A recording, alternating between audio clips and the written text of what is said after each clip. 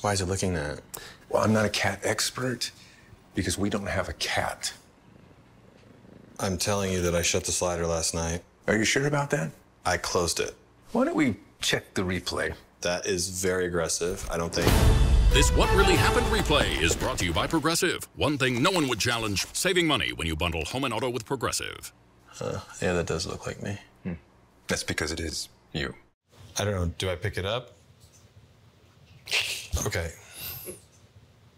Yeah, I deserve that. Mm-hmm. For more great content, click over there. And don't forget to shut the door behind you.